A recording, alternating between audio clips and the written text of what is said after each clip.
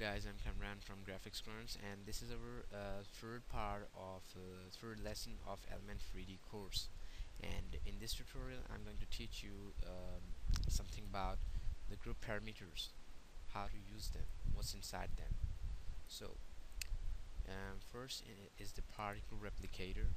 You can increase the particle count. This will increase the number of objects. Uh, just duplicate those objects and um, this is uh, the kind of position or the kind of simulation you want to give them. You can create a 3D grid or a plane um, depends on you what you want to use from that. Then is the particle order um, just leave it to random because it, it, doesn't matter. Then particle repeat how many particles you want to repeat um, at the time. Then is the particle offset. Uh, you seriously don't need to do anything to the offset so just uh, leave it to default. Then comes some shape options you can uh, use them to increase or decrease their shape uh, and then there is the layer offset um, when you increase the layers you can increase the offset how much you want to make them. You can uh, create some kind of uh, basic shapes with them and the layer distance also. As you can see this will increase the distance. And then uh, you come to the position x y this is seriously like how you take it um, towards x or y axis.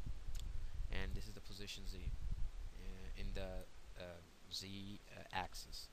Then is the scale or the shape of the individual objects. Then uh, just take the particle count to 1 and go downward uh, maybe do it to 3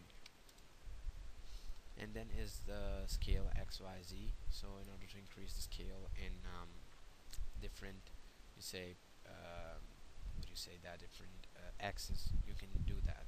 When you come to rotation it's just simply pretty easy. You can rotate your object and it's pretty easy. Then you go for surface offset that um, how much offset you want to do to the surface. And uh, there's again another surface offset. And then comes the scatter how much you want to scatter. Um, but this uh, but this will be in all the axes. You can use the individual controls um, to individually uh, scatter them in some axes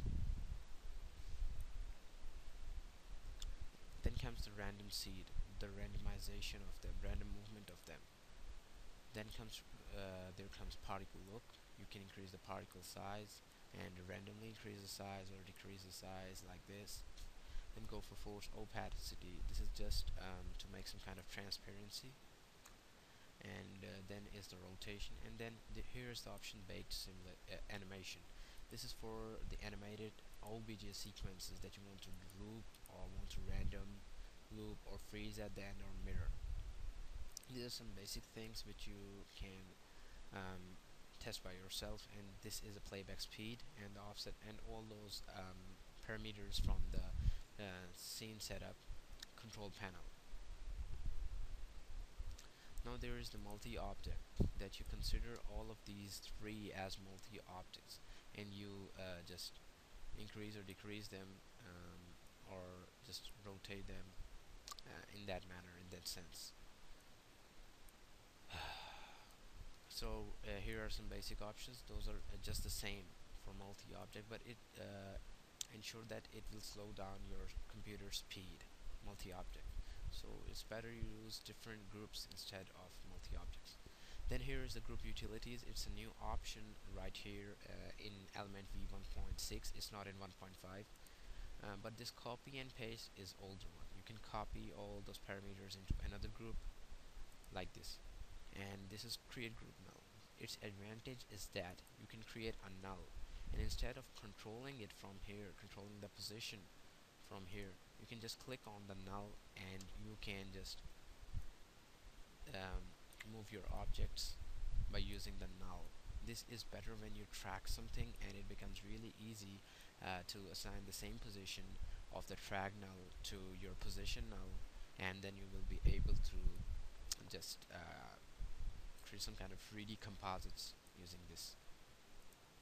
Um, so it, then uh, the last thing I want to tell you is that you create another blob and here you can change their groups and can use them as individual objects. So that's pretty much for it and for today. So I told you how to use the group parameters. So if you like my video please like and subscribe and have a nice time